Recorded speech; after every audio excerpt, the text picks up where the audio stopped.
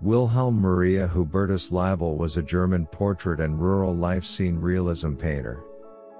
Leibl was born in Cologne, where his father was the cathedral choir director. Before commencing his artistic studies with local painter Hermann Becker in 1861, he was a locksmith's apprentice. In 1864, he enrolled at the Munich Academy and afterwards studied with various painters, including Carl Theodor von Piloty. In 1869, he established a group studio with Johann Sperl, Theodor Alt, and Rudolf Hirth du Frênes. Approximately during the same time, Gustave Courbet traveled to Munich to display his work, where his demonstrations of alla prima painting straight from nature had a lasting influence on many of the local painters.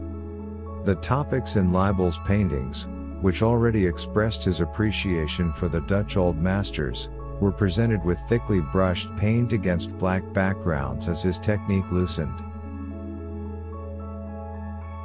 Following Courbet's advice, Leibl traveled to Paris in 1869, where he met Edouard Manet. However, he was obliged to return to Germany in 1870 due to the commencement of the Franco-Prussian War. In 1873, Leibl left Munich for the rural Bavarian countryside, where he portrayed the local peasants in settings devoid of pathos and narrative. The sketch-like nature of his previous paintings was replaced with a higher degree of clarity and drawing attention. Living in Berbling from 1878 to 1882, he painted perhaps his most famous piece, Three Women in Church, Kunsthalle, Hamburg. The precision of its very realistic manner recalls the work of Hans Holbein.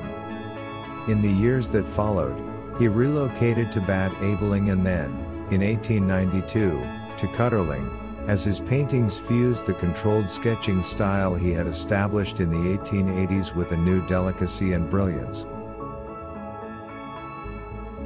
Leibl painted without a previous design, choosing instead to work immediately with color, a technique resembling Impressionism. In his lifetime, he was recognized as the prominent artist of the Leibl Kreis, Leibl Circle, a group that included Carl Schuch, Wilhelm Trubner, Otto Scholderer, and Hans Thoma, among others. In the first part of the 1870s, Leibl meticulously completed a series of 19 etchings. His charcoal drawings are composed of large volumes of light and shadow, as if he were painting with a brush.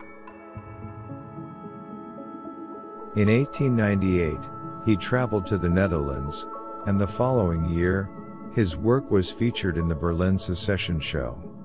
He died in Würzburg in 1900.